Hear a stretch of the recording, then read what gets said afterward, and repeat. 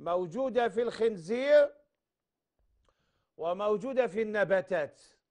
هل هذه الخميرة الفرنسية التي تباع للجزائريين والتي تحتوي على الأورو 491 هل هذه مادة خنزيرية ولا مادة نباتية؟ أنا هذا وش كان سؤالي؟ أنا ما قلت حرام وإنما قلت ما دام ما وضحوناش وما دام على بالناش كيف يجوز؟ لنا ناكلوها. يجوز لك انت انسان يقول لك هذا الكاس راهو فيه مادة. ممكن تكون خمر وممكن تكون عصير. انت وبعد تروح تشربوا إحنا طلبنا توضيحات. يا وزير التجارة وضح لنا. يا نقابة الخبازين وضحوا لنا. يا مستورد وضحوا لنا. الحمد لله النداء نتاعنا ما راحش باطل. ولم يذهب سدى.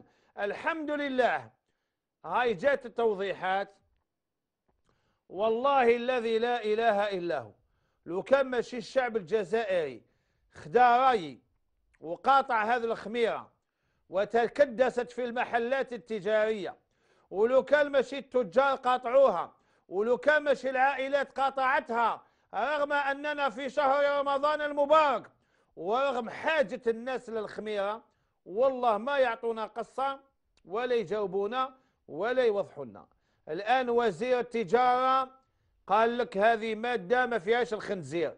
ولكن قالها بكلامه برك ما أعطانا بيان ما أعطانا دليل ما قال لنا ديناها إلى مختبرات وزارة التجارة. والو على رقبته.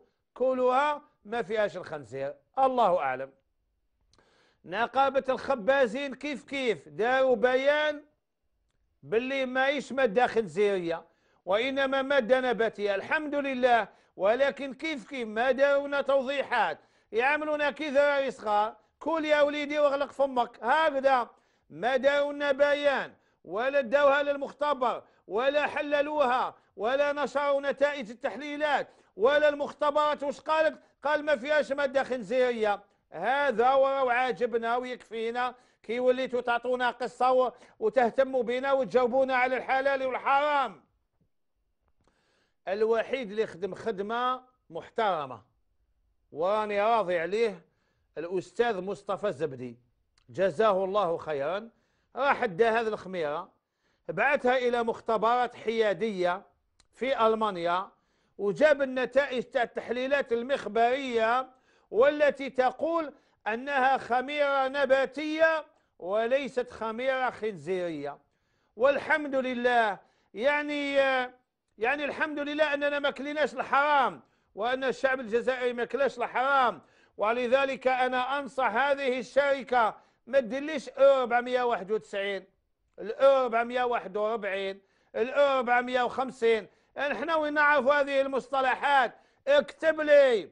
قال اورو 491 مادة نباتية حلال وفق شهادة المخبر الفلاني بلي يحب يروح يحقق يحقق.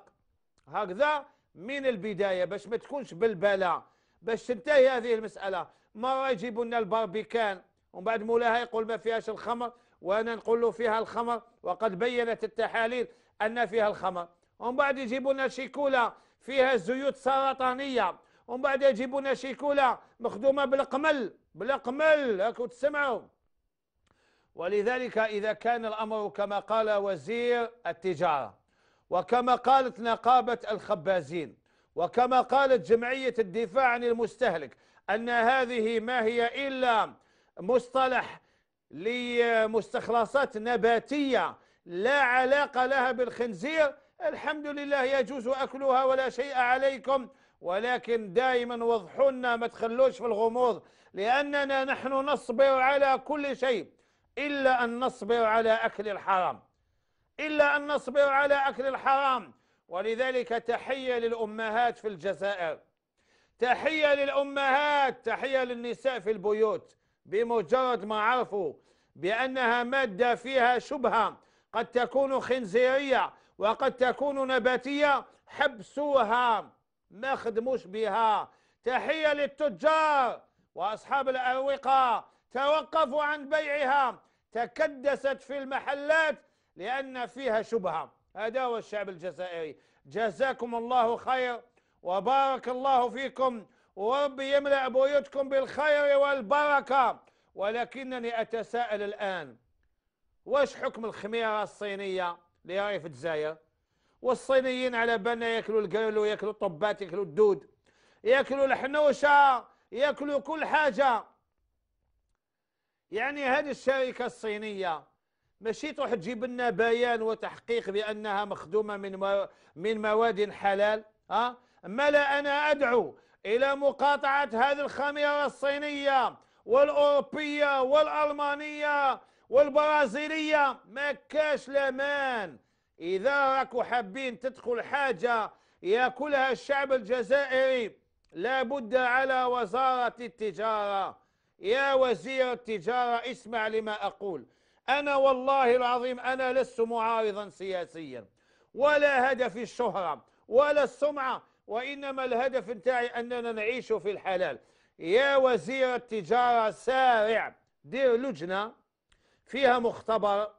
فيها عالم من علماء وزارة شؤون دينية فيها واحد من المجتمع المدني من حماية المستهلك فيها ناس أكفاء هذه اللجنة تمنع دخول أي مادة إلى الجزائر إلا إذا أعطاه شهادة حلال. هكذا نقولوا مطمئنين. إنسان يروح يشري. هكذا المستوردين يولي كي يجيب مادة قبل ما يبيعها للشعب الجزائري يديها إلى هذه اللجنة. وهذه اللجنة تعطي شهادة حلال. ما أعطتلوش شهادة حلال يخليها في البابور ويشربها هو ويروح يخبز بها الخبز نتاعو هو. أما الآن السوق مفتوحة. الليبرالية المتوحشة. أطلع الأوروبا جيب. راهم يجيبوا كاشير من فرنسا. كاشير من فرنسا. مخدوم بالدم. أكو تسمعوا. مخدوم بالدم. الدم هذاك تاع البطوارات تاعهم. لما يقتلوا الحيوان يقتلوه هذاك الدم يجمدوه يزيدوا له مواد ويخرجوا له كاشير. كيف تخلي الكاشير تاع بلاط؟ بلاط المسلم بلاط اللي حاج بيت ربي بلاط اللي يخدم بالدجاج المذبوح. حلال في حلال في حلال. حتى هذيك المادة المادة الملونة وأنا تحققت من هذا بلاط يديرها بالبطراف. البطراف يجيب البطراف مادة نباتية ويعصرها. هذيك المادة الحمراء يدير بها الكاشير. يعني اللحم مذبوح حلال. واللون تاعو مادة نباتية حلال. والدجاج مذبوح حلال. وعلى أيدي ولاد الحلال. والخدامين حلال في حلال في حلال. تخليها وتروح تاكل كاشير تاع فرنسا. مخدوم من الدم. حسبنا الله ونعم الوكيل. حسبنا الله ونعم الوكيل. إذا كان وزير التجارة يسمعنا سارع إلى إنشاء لجنة لمراقبة الحلال. هكذا يرتفع الإشكال. والسلام عليكم ورحمة الله وبركاته.